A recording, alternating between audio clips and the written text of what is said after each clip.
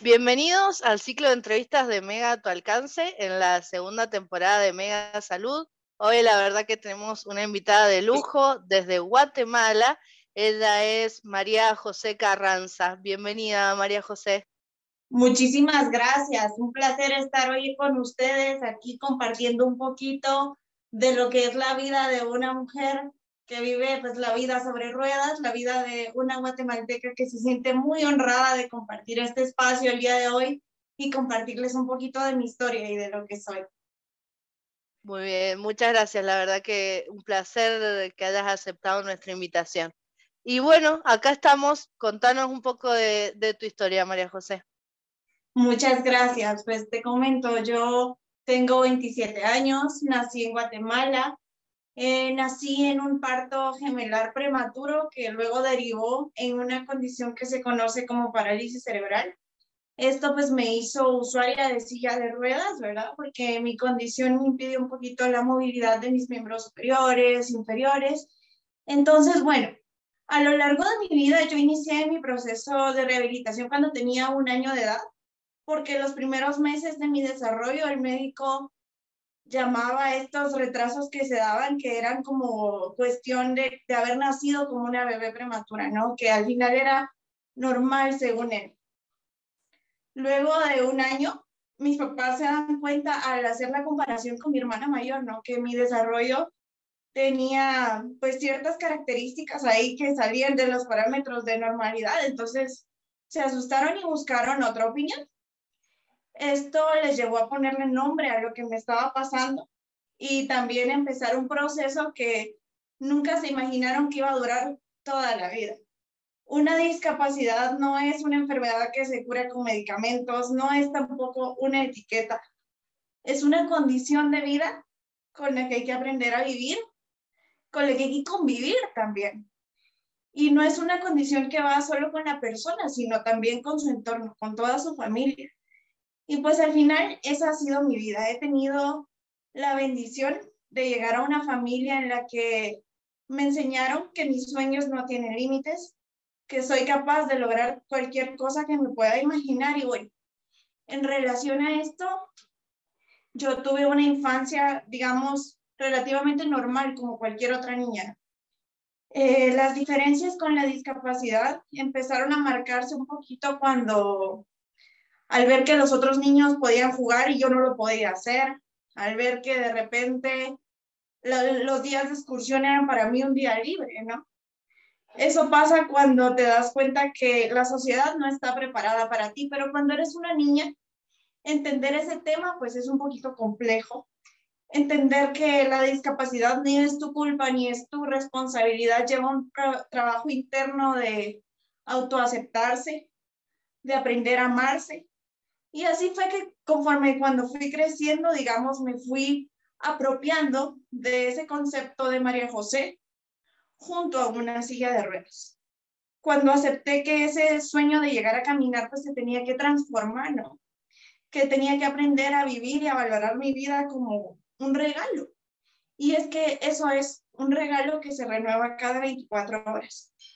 Yo estoy viva gracias a un minuto de diferencia entre mi nacimiento y el de mi hermana gemela. Ella falleció y pues ese minuto que al final me salvó la vida fue el minuto que derivó en este diagnóstico del que ya platicamos.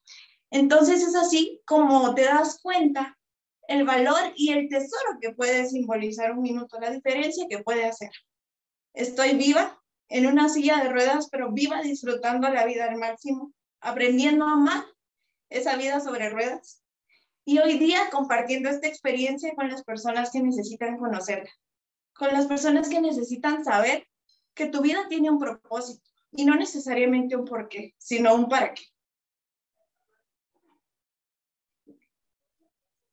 Me parece muy importante esto que estás eh, mencionando, María José, el hecho de que un minuto eh, puede ser algo muy importante y que es lo que te salvó la vida, así que agradecemos a ese minuto por tenerte acá con nosotros y el hecho de que puedas eh, ser un, ejemplo y poder eh, comentar desde tu experiencia, ayudar a otras personas. Así que agradezco eh, que estés aquí con nosotras. Eh, en base al hecho de, de accesibilidad, eh, me gustaría meterme un poquito eh, cómo es la accesibilidad en Guatemala para usuarios de, silla de rueda o para personas que tengan alguna, alguna patología. si es, es, una, una, ciudad que cuenta con accesibilidad para todos o en determinadas eh, zonas más importantes? Bueno, te cuento un poquito, Gaby. Yo creo que Guatemala es un país que está trabajando por la accesibilidad. Si bien es cierto que nuestras condiciones no son óptimas porque hay que reconocer que hay contextos en los que este es un problema latente todos los días y no solo para una persona con discapacidad, sino para personas de la tercera edad, para niños, para niñas que no pueden llegar a sus establecimientos educativos, por ejemplo. Yo creo que la accesibilidad todo el tiempo va a tener aspectos a mejorar. Aquí en Guatemala se está trabajando mucho porque se creen las condiciones ideales para las personas con discapacidad, en mi caso, porque te puedo hablar desde esa óptica, ¿no? sí hay mucho que trabajar aún, hay mucho camino por recorrer, pero creo que hoy día se está cambiando ese paradigma de que la persona con discapacidad es una persona que requiere asistencia todo el tiempo y se está viendo desde un enfoque de derechos humanos en donde se ve primero a la persona y luego a su discapacidad. Y yo creo que ese es el primer paso para que podamos construir cultura inclusiva. Bien, María José, y también sabemos que practicás un deporte. Contanos cuál es este deporte y si competís también a nivel nacional, no sé si competís internacionalmente. Sí, la verdad es que, bueno, eh, actualmente estoy practicando dos deportes. Estoy practicando bocha, que es el deporte más paralímpico que existe porque este no tiene una modalidad olímpica. La bocha es un deporte exclusivo para personas con discapacidad que somos usuarias de silla de ruedas. Este tiene cuatro categorías, digamos, está BC1, BC2, BC3 y BC4, en donde la categoría BC1 y BC3 son aquellos jugadores y jugadoras que requieren asistencia para jugar. Y BC2 y BC4 es el caso de nosotros como atletas, donde no, requerimos, no requerimos un asistente en cancha, ¿no? Donde al final somos un poquito más autónomos y autónomas al momento de jugar. He tenido la oportunidad de competir a nivel nacional, es un sueño poder hacerlo a nivel internacional, pero creo que al final, pues Dios dirá en qué momento y en cuál de las dos disciplinas que actualmente me estoy desempeñando tengo la fortuna de llevar la bandera de mi Guatemala a un juego paralímpico también estoy practicando recientemente tiro con arco, llevo pocos meses haciéndolo. La verdad es que esto sí ha sido un reto para mí, porque aquí en Guatemala no hay, digamos, mayoría de paratletas practicando esta disciplina. Soy la primera mujer que tiene la fortuna de hacerlo eh, como persona con discapacidad. Y esto fue gracias a un amigo que me ayudó a involucrarme en este deporte, que me ayudó a tocar la puerta necesaria, ¿no? Para llegar a esta oportunidad. Y pues espero que en algún momento pueda desempeñarme ya a nivel internacional y abrir esas puertas también que muchas otras personas con discapacidad necesitan conocer. Me gustaría que nos comentaras eh, respecto a tu participación en Miss Wheelchair Guatemala, quería saber en, qué consiste y si también se realiza en otros países. Pues qué bonita pregunta, Gaby. La verdad es que Miss Wheelchair Guatemala fue para mí una experiencia increíble. Fue una plataforma de empoderamiento, una plataforma de darme cuenta de lo capaz y de lo fuerte que soy como mujer la realidad es que me defino a mí misma como una soñadora imparable y el participar en un certamen de belleza siempre fue una utopía que veía muy lejana, porque siendo muy francas, ver a una mujer con discapacidad en un certamen de belleza tradicional era algo, pues digamos, imposible, entre comillas. En 2017 yo me entero de la existencia de este certamen a nivel mundial llamado Miss Wheelchair World yo escribo a la página porque me llamó mucho la atención esta iniciativa y yo dije, ¿por qué no intentarlo a nombre de Guatemala? Pero cuando escribí, esta primera edición ya había sucedido. Ellos me dijeron que ya había una primera representante del país que había ido a, pues, a representar a Guatemala en este certamen junto con otras mujeres de todos lugares del mundo. Em, me comuniqué con ella y el mundo es tan pequeño que nos dimos cuenta que ya habíamos coincidido en otros espacios. Pero el hablar de certámenes de belleza en el tema de discapacidad todavía era un fenómeno particular, digamos. Ella me contó su experiencia, yo le conté de mi deseo por querer participar en este tipo de eventos y así fue como se empezó a gestar una amistad muy linda, pero quedó así porque aquí en Guatemala pues no existía esa plataforma. En 2019 empezó a, nacer el proyecto llamado Miss Wheelchair Guatemala.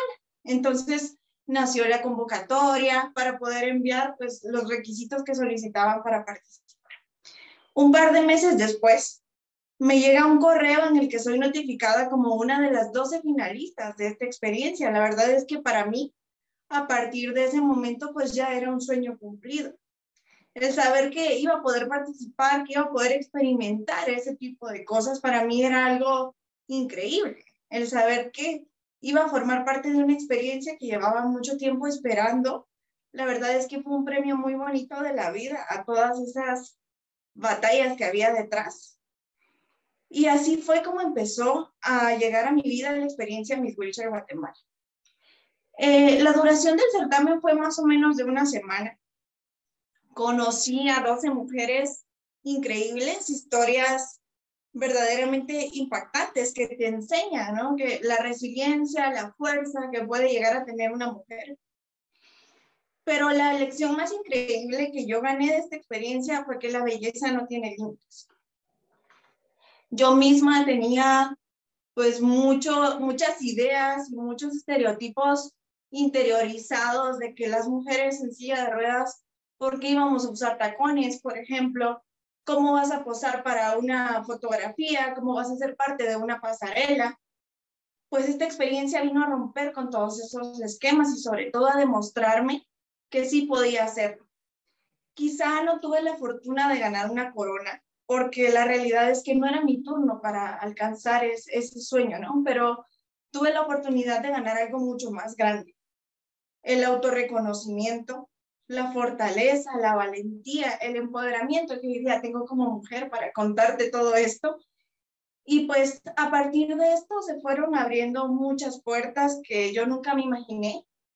Empecé a involucrarme en el mundo del modelaje inclusivo, empecé a participar como modelo para ciertas marcas y la realidad es que es algo que actualmente me disfruto con todo el alma, el saber que puedo seguir rompiendo esquemas, que puedo seguir siendo ejemplo quizá para otra mujer que hoy día está en su casa y que no se imagina todas las barreras que como mujeres tenemos que enfrentar y que a veces nos toca romper a nosotras mismas como pioneras.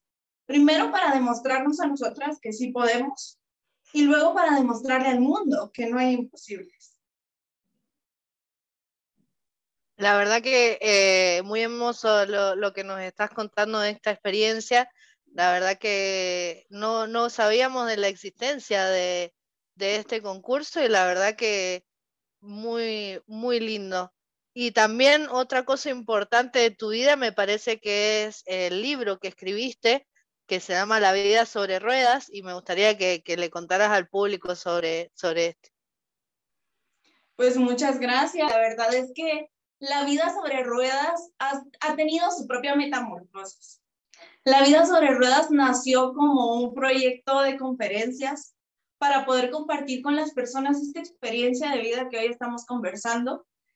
Creo que al final de cuentas mi carrera ha sido un parteaguas muy importante para atreverme a contarle a la gente quién es María José Carranza. Como psicóloga me di cuenta de que a veces nos metemos tanto en nuestra propia burbuja que nos da miedo romperla, pero hay una frase muy importante que, que me ha llevado a, a, vivir la vida sobre ruedas como una realidad y es que, y si te da miedo, hazlo con miedo, ¿no? Ustedes no se imaginan la satisfacción que se siente romper con todos esos miedos, con todas esas ideas equivocadas que a veces nos hacemos de nosotros mismos. Y así fue como empecé esta aventura de la vida sobre ruedas. Mi primera conferencia fue algo que nunca voy a olvidar. Me temblaba la voz, estaba muy insegura de cómo empezar, de cómo compartir esa historia. Pero me di cuenta que podía tocar muchos corazones. Me di cuenta que sobre todo podía transformar muchas vidas. Y aquí la pregunta es, ¿por qué no buscar hacer algo más? Yo tenía mucho tiempo escribiendo mi libro. Lo curioso es que empecé a hacerlo cuando empecé la universidad. Luego le puse una pausa porque ustedes saben que cuando estás en un proceso de formación, pues hay momentos complejos que te hacen tener prioridades, ¿no? Entonces le puse pausa, pero yo creo que todo en la vida tiene una razón de ser. Así que fue una pausa muy valiosa porque me ayudó a crecer, a evolucionar y el libro no es ni la sombra de lo que era en ese entonces. Cuando por fin terminé el ciclo de, de mi formación como profesional, entonces decidí retomar ese proyecto de la mano con el tema de las conferencias como les estoy comentando. Y fue así como la vida sobre ruedas nació como ese deseo de querer transformar realidades a través de mis letras. El deseo de que al compartir una historia quizás sí de mucha lucha, pero también de muchos sueños hechos realidad, las personas que lo lean, más allá de una discapacidad o no, pueden darse cuenta de que son ellos quienes son dueños de su propio destino y del propio futuro que quieren construir para su vida, del tamaño de sus sueños. Fue así como hoy día la vida sobre ruedas es una realidad muy hermosa que, que me llena el corazón poder compartir con ustedes se los presento por acá. Con ustedes, La vida sobre ruedas. Este libro es una realidad gracias a mi familia de Otobok. Otobok es mi, mi casa ortopédica. Gracias a ellos hoy estoy rodando de la forma en que lo hago. Cuando nos conocimos, yo les conté sobre mi libro, les conté que ya lo tenía escrito, pero que no sabía cómo seguir, ¿no? No sabía cómo hacerlo llegar a quienes yo quería que conocieran mi historia. Y pues ellos se encargaron de volverlo realidad. Ellos me ayudaron a que hoy pueda tener en mis manos este libro y recordarte que los sueños sí se cumplen. Este libro es el corazón y es la vida de una mujer con las ruedas bien puestas sobre la tierra y la mirada al cielo. Qué lindo el hecho de que puedas compartir eh, con todos eh, tu historia, que lograste materializar eh, el libro en el cual mostrar, compartís tu experiencia, pero también las metas y que un diagnóstico no determina tu vida, sino los límites te los pones vos. Exactamente. Así que me gustaría saber dónde se puede adquirir el libro, si está también en plataformas digitales Ok, bueno, les cuento un poquito. El libro está disponible para todos los países de habla hispana en una página que se llama Autores y Editores. El enlace está en mis redes sociales. Ya vamos a platicar un poquito sobre, sobre esto, ¿verdad? Ustedes pueden ingresar al enlace y ahí solicitan su libro. Este se imprime a demanda y llega pues a la puerta de tu casa, el ejemplar físico por ahora está disponible en este formato para que las personas que tengan el anhelo de leerlo lo puedan tener en sus manos y puedan conocer un poquito más de mi historia. Genial, y ya que lo nombraste, comentanos tus redes sociales para aquellos que, que quieran comprar el libro y los que te quieran conocer y seguir y seguir el ejemplo que das. Muchas gracias. Redes sociales me pueden encontrar en Facebook como María José Carranza y en Instagram como Ma José-Carranza. Agradezco de todo corazón estos espacios para poder dar a conocer un poquito más de mi historia, un poquito más de esa muestra de que los sueños sí se pueden vivir como una realidad cuando el corazón trabaja con la fuerza del amor. La verdad que un placer haberte tenido en nuestro programa Eh, es muy lindo todo lo que nos contaste y, que tenés las ruedas bien puestas, como decís. Así que la verdad que es un placer escucharte. Muchísimas gracias, muy amable. Y pues qué honor compartir con ustedes. Un abrazo y un saludo fraternal desde Guatemala. Bueno, así que no olviden, ya pueden empezar a adquirir el libro de María José Carranza, lo descargan desde el sitio web y no olviden contactarse con ella ante cualquier inquietud. Muchísimas gracias, María José. Gracias a ustedes, un abrazo. Muchas gracias y siempre recuerden, Mega, cuida tu salud.